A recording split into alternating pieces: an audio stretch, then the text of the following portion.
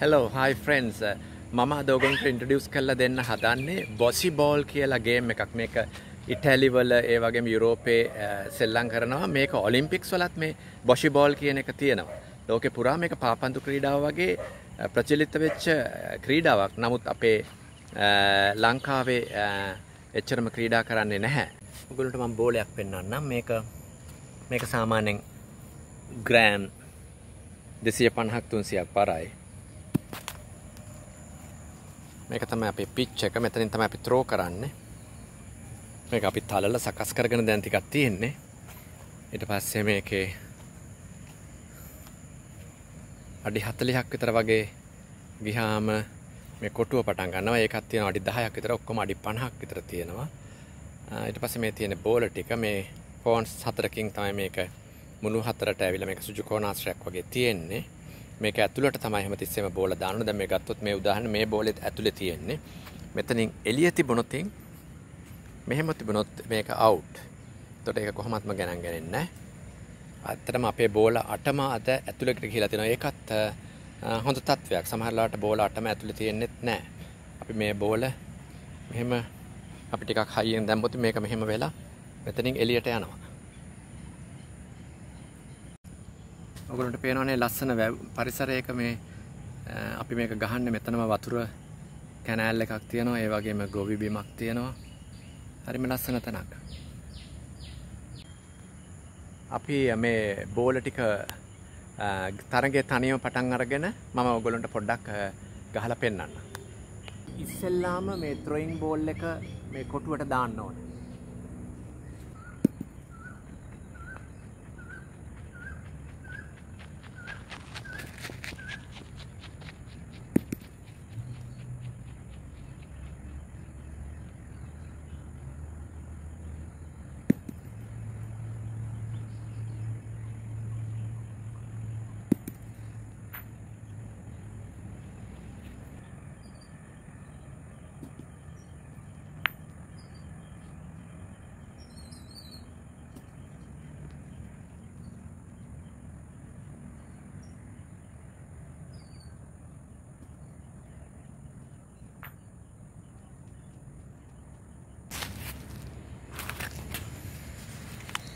දැන් මම ඕගොල්ලන්ට පෙන්වන්නම් මේ බෝල දැන් මෙතන රෙඩ් කලර් බෝල්ස් දෙකක් දාලා තියෙනවා.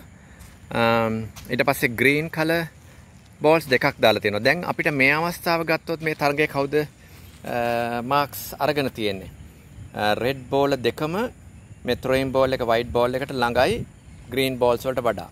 එතකොට දැනට පොයින්ට්ස් දෙකක් තියෙනවා රෙඩ් කලර් ගහන අයට. ඒ කියන්නේ මට මට Aට පොයින්ට් දෙකක් තියෙනවා මගේ B මම තමයි තරඟ කරන්නේ පොයින්ට්ස් නැහැ ඒගොල්ලන්ට.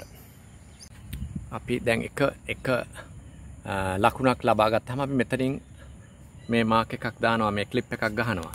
අනිත් එක්කෙනා එක ලකුණක් ලබා ගත්තාම හෝ දෙකක් ලබා ගත්තොත් එයාගේ ක්ලිප් එක මෙතන ගහනවා. ඒ විදිහට තමයි දිගට මේක ගිහිල්ලා පළවෙනිවෙන්ම 12ක් ගහලා ඉවර වෙන එක්කෙනා ගේම් එක දිනනවා.